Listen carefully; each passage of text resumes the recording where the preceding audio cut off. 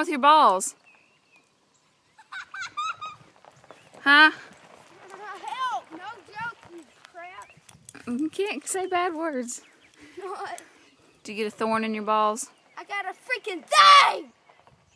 Help me! Why don't you take your sh- let your shoes drop and then I hurt your feet.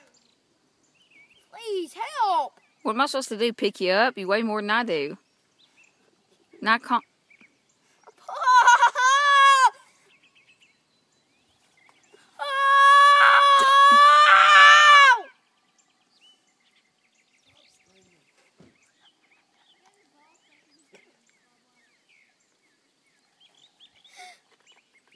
Sit up, retard! Why are you trying to rip your pants?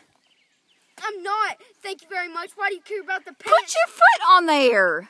I am. You care about the pants more than you care about me. What are you doing? You told me to drop my feet. My stupid I feet. meant right on here. Thanks a lot. Now I probably have a cut on my balls, and you won't care. You'll care about the pants having a hole in them. No, I won't. Now I have to go back over a thing, stupid thing. No, go back down there.